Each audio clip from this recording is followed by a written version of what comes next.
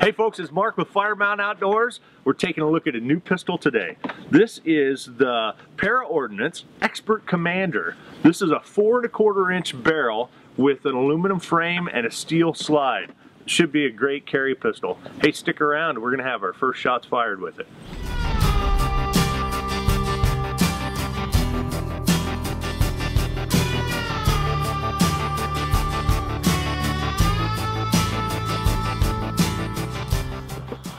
Well, let's take a look at this thing.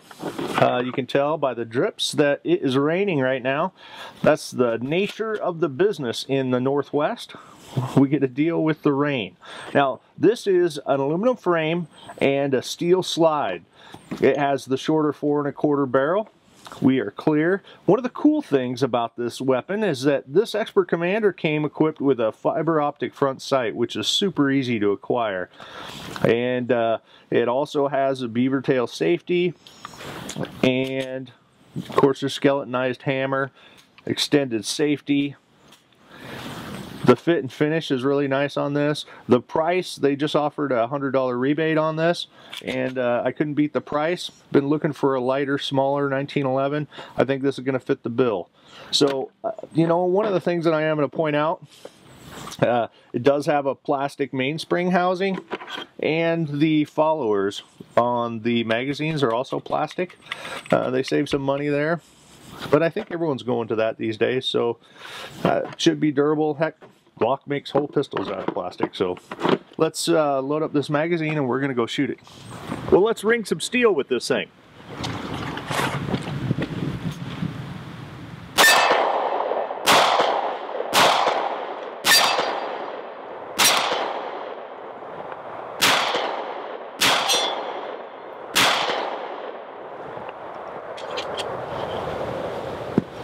Probably shot, shot as good as the shooter.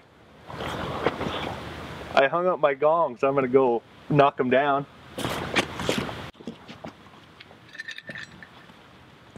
Put another magazine down range.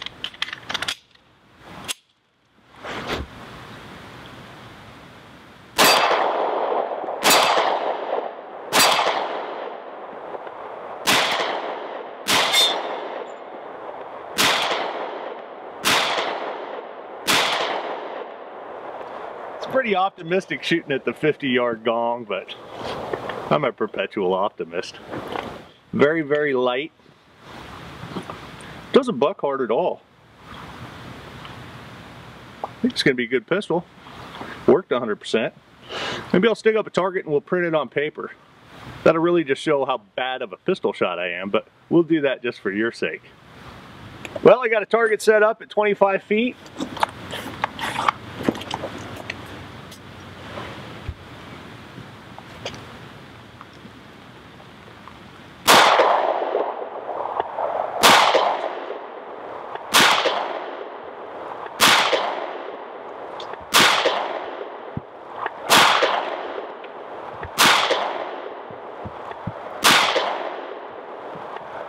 Think I'd be really happy with that. It's got eight really big holes in it. You got you got to love a 45 and big holes and soggy target paper.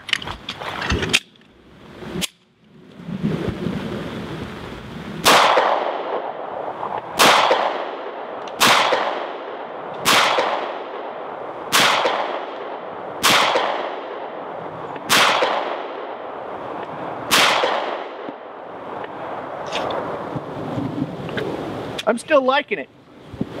I had a couple of flyers. I think that this uh, this particular weapon, I really like the lightness of it. You can't beat the slimness of a 1911 for a carry piece. Uh, the aluminum frame shaves off a lot of weight. Still a single stack, uh, 8 plus 1. It's got a full-size grip, fits my hand pretty comfortably. The things uh, functioned flawless.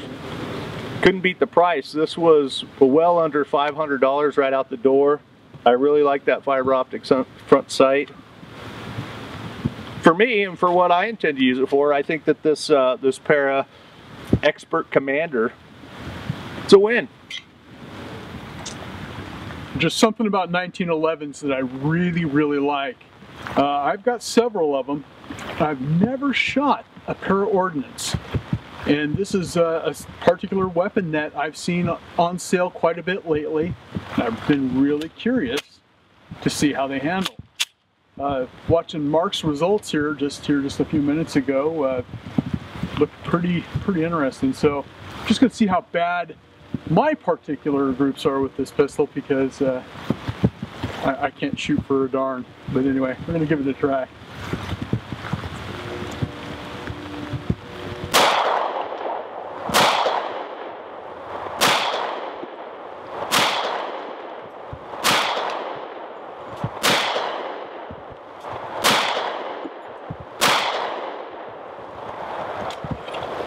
I was all over the place. I was up and to the right and I was low and to the left.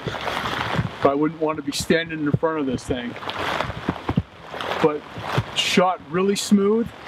And those front fiber optic sights, I don't know if Mark can zoom in on this at all. If there's any way.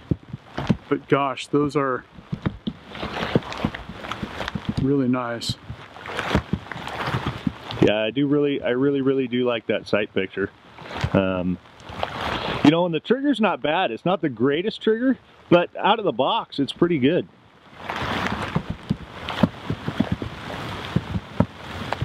It wouldn't take a whole lot to uh, to get really proficient with that. Got a real nice weight to it. Very nice. And here in the Pacific Northwest, we can wash our firearms while we shoot them. It's kind of like the dishwasher. All clean. There you go. well, there we have it. First shots fired from the Para Ordnance Expert Commander. What do you think, Bob? I think for the price, you got one heck of a good pistol. I can't really think of a lot of pistols where you get that much pistol for that kind of price. You know, I think that any collection is incomplete without a 1911. I mean, if you have if you have more than two or three handguns and you don't have a, a, a 1911, then I think your collection's lacking. So uh, I I love shooting a 1911 and this is no exception. I really like the the combination of this light alloy frame and the steel slide make a really packable combination, but uh, just a really good balance of recoil absorption and lightweight carried around all the time. Right. Uh, didn't really notice any added recoil firing this pistol at all. Uh, the four and a quarter inch barrel uh, made it actually quite pleasurable to shoot. Uh, when you get a shorter barrel than that with the aluminum frame, I have one with my Kimber. Uh, usually after about a box of shells, that's where I'm like, yeah, I can put it away, move on to something else for the rest of the day. But this one, a little bit more comfortable. I liked it. I really like the fiber optic front sight. That's uh, it's really easy to pick up, and it's simplified by the lack thereof on the back. Nice matte black rear blade sight on the back, mm -hmm. matched with that glowing green. Yeah, I have front sight envy. I yeah. really like the way that that looked on that. It's a nice setup. You know, the trigger's not the best. I mean, it's not a match grade trigger right out of the box. Uh, this weapon's clear. We're going to go ahead and test that trigger and see what we come out at. Well, most people, if you're going to be carrying condition one with a 1911, you're not going to want a match grade trigger anyway. But uh, but you're still going to want something nice, crisp, and clean. That said that it broke at six pounds. It's a little bit higher than our previous readings. We're going to get another one. Yeah, it's showing their brakes right at six. So, which this isn't a match gun because of the short barrel. It's not something that you're really going to use in competition. It's going to it's going to be a carry piece, a self-defense piece. So uh, I'm not averse to a heavier trigger in a self-defense piece where you're going to be using it in stressful situations. Right. So, no, I think uh, I think it was a great value. I think it was a good pistol. You know, it's got the full size grip, so it's eight plus one yeah. of 45. You could debate the merits of 45 versus 40 versus 9 all day long, but I, I don't think you would be uh, under weaponed to be carrying this. No, uh, the, one of the great strong things with the 1911 is how thin that grip is when you're carrying that and that's up against your body. You don't get that nice thin grip with a Glock 19 no. or a Glock 17. Uh, this is a hundred and you know free 104 year old design, but they are just as comfortable, if not more comfortable now than what they were then. It's there's a reason why they're still making these things. That's right. That's because they're great. So if you're thinking about a a 1911 for your collection and you're looking for a carry piece, I think that this uh, Para Ordnance Expert Commander is is definitely worth your consideration. The price point was enough to make me spring for it, and I don't regret spending my own money on this.